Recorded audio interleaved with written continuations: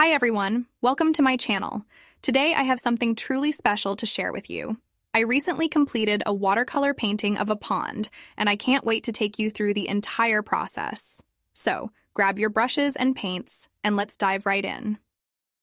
The first step was sketching out the scene. I lightly penciled in the pond's shape. This initial sketch served as my roadmap throughout the process.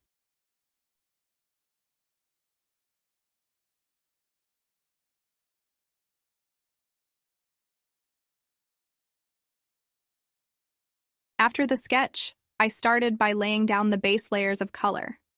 I used gentle washes of blue and green to create the foundation for the water and the foliage around the pond. This step helped set the overall mood of the painting.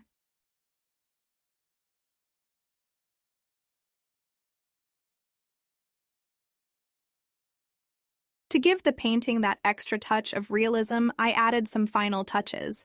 This included enhancing the highlights, deepening the shadows, and making sure every element had the right level of detail.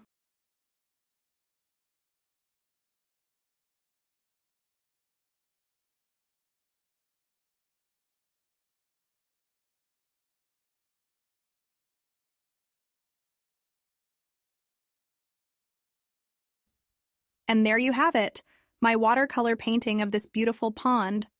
I hope you enjoyed watching the process as much as I enjoyed creating it.